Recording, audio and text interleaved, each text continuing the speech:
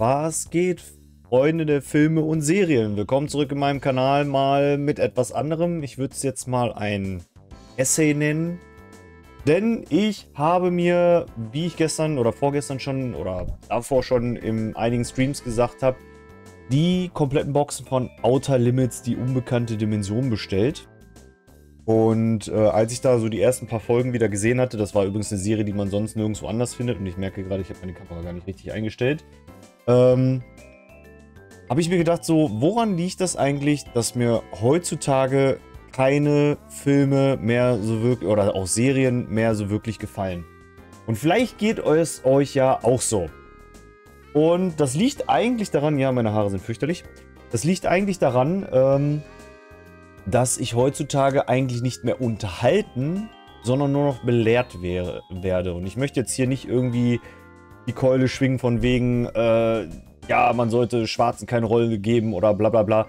Es geht mir eher darum, dass nicht, dass die die Rolle haben, sondern dass quasi immer die Rolle unnatürlich gestaltet wird für diese Leute mittlerweile. Und das sagen ja auch einige andere. Also, wenn ich mir heutzutage eine Serie angucke, geht es nur noch darum, äh, guck mal hier, hier ist ein Homosexueller. Der Homosexuelle hat so schwer in seinem Leben. Er kann auch gar nicht böse sein. Er ist einfach nur unterdrückt von der Welt. Guck mal hier die Frau. Die muss nichts lernen und schon gar nicht vom alten weißen Mann. Denn sie ist perfekt und eine Frau ist genauso krass wie ein Mann oder noch krasser. Und der Mann ist immer nur der Vollidiot. Oder, äh, was gibt's noch? Ähm, Schwarze. Ja, Schwarze haben immer nur Probleme. Keiner von denen ist glücklich. Alle leben in Diktatur und Unterdrückung und unter dem Patriarchat und dem weißen Mann und keine Ahnung was. Und das ist halt super nervig, weil es einfach nicht abschalten lässt. Und ich sage ja nicht, dass diese ganzen Leute kein oder dass diese Gruppen keine Probleme haben. Das ist ja nicht meine Botschaft hier. Sondern es sind einfach Stories, wo ich mich frage, so was soll mir das jetzt sagen? Es wird immer nur, es wird mir immer quasi nur das äh, Gefühl gegeben, dass ich schlecht bin, nur weil ich weiß und männlich bin. Und es macht keinen Spaß mehr, diese Filme zu gucken. Und dann gibt es manchmal noch so Filme, die mich überraschen. Ich habe auf Netflix letztens einen Film gesehen. Ich habe ehrlich gesagt sogar den Namen vergessen. Es war, glaube ich, ein spanischer Film. Zumindest schien es mir so. Da ging es um. Und schreibt mir gerne mal in die Kommentare, wenn ihr mehr davon erfahren wollt. Dann suche ich euch auch nochmal den Namen raus. da ging es halt um ein Pärchen. Und leider ist die Backstory so ein bisschen in den Hintergrund gerückt.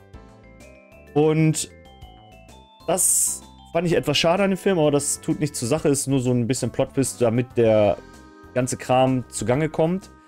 Ähm, und zwar ging es darum, dass in Mexiko oder generell auf der Welt die Nahrungsmittel knapp wurden und dann fingen die Regierungen an, ältere Menschen zu töten, um Ressourcen zu sparen. Die fingen an, Schwangere, frag mich nicht, warum die Schwangeren und nicht irgendwelche Älteren auf jeden Fall noch, aber die Schwangeren anzutöten oder zumindest hätte man das einschränken können insofern, dass man sagt, nur noch maximal ein Kind darf man kriegen oder so, wie es auch schon in manchen Ländern ist.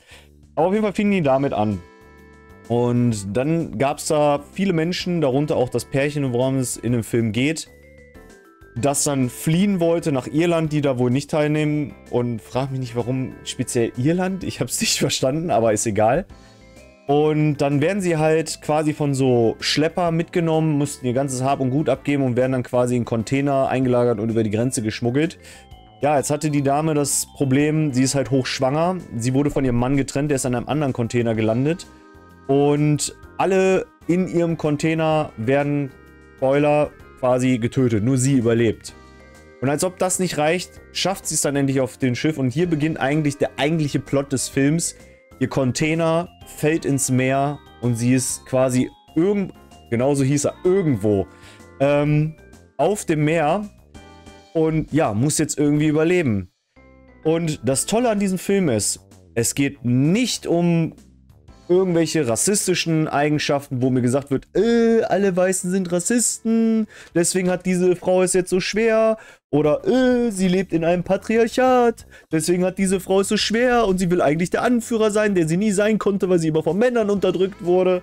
Oder whatever, sie ist auch nicht lesbisch oder homosex äh, generell homosexuell oder irgendwas in die Richtung. Nein, es geht einfach nur darum, dass dieses Paar voneinander getrennt wurden. Und sie sagt in einer Szene, und das finde ich auch sehr interessant, halt, ähm, so diese Frau, die tut mir leid, sie ist ja ganz allein. Und ihr Mann guckt sie an, sie ist schwanger. Sie ist nicht allein. So. Was ich auch eine starke Szene fand, so, oder so ein starkes Statement.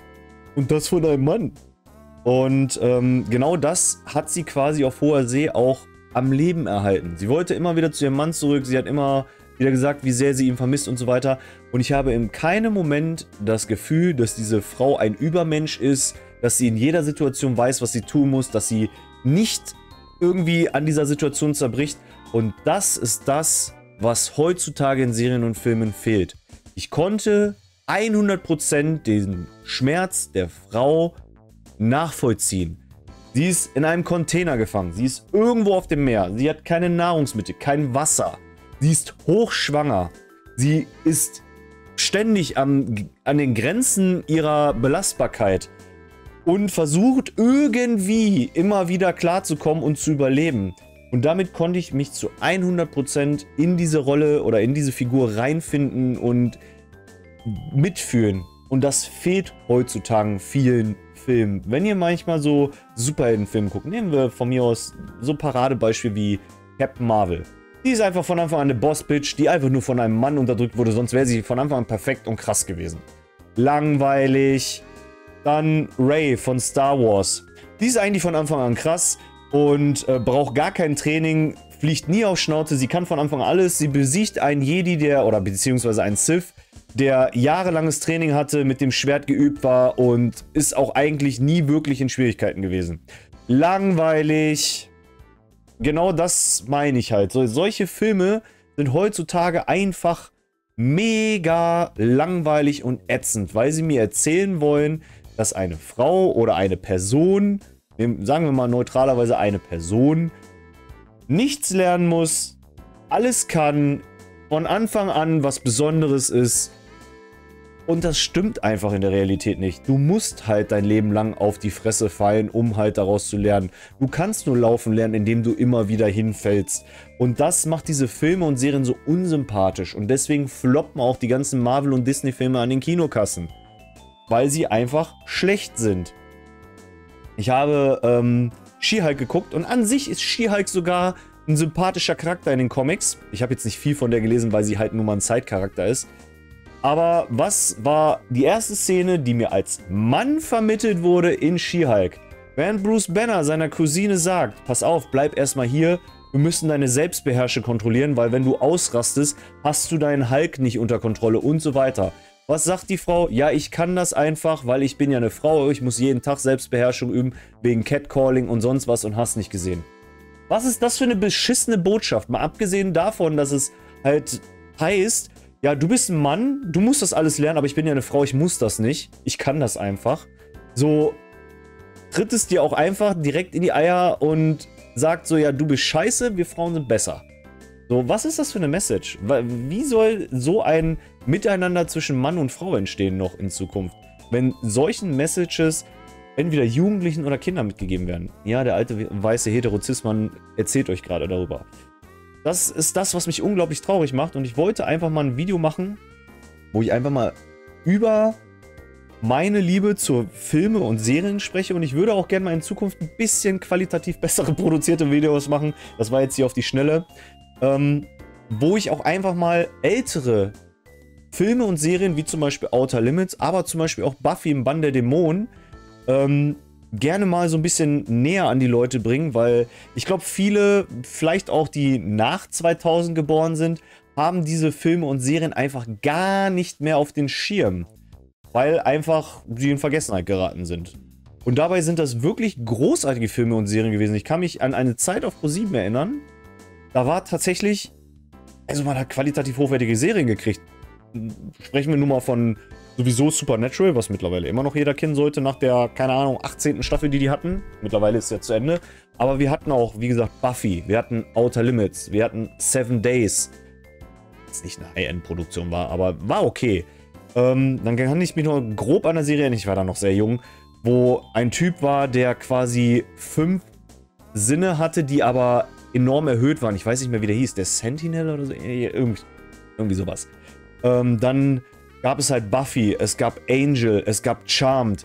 Also da gab es ganz viele Serien, die wirklich lohnenswert waren, mit toll geschriebenen Charakteren, mit nachvollziehbaren Charakteren und mit starken Rollen. Und wenn wir von starken Frauenrollen sprechen, ähm, gucken wir uns einfach nur mal Charmed an und nicht dieses Remake, was okay war, aber schon wieder so, ich bin eine, äh, keine Ahnung, Aktivistin, ich bin eine Lesbe. So, mh, hm, lass sie das von mir aus sein, aber das muss doch nicht immer die Hälfte der Folge darum gehen. So, das war voll nervig.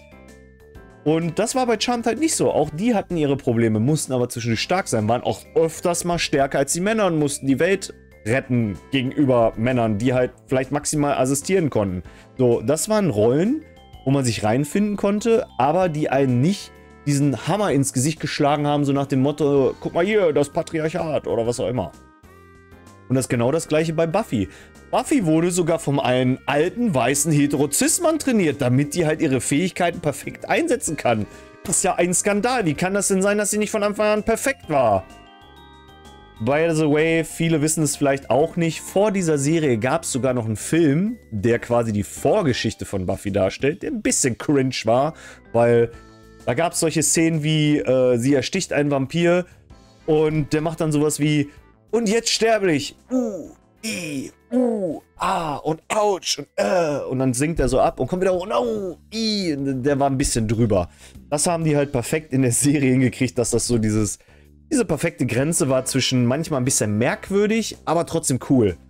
So, und ähm, auch da, Buffy oder Sarah Michelle Geller, super Rolle gewesen, wo man sagen kann, ey, das ist eine krasse Frau, eine krasse Heldin ohne dass sie unrealistisch wirkte, ohne dass sie so ohne Schwächen wirkte und ohne dass sie so, ich muss nichts trainieren, ich bin von Anfang an voll krass war.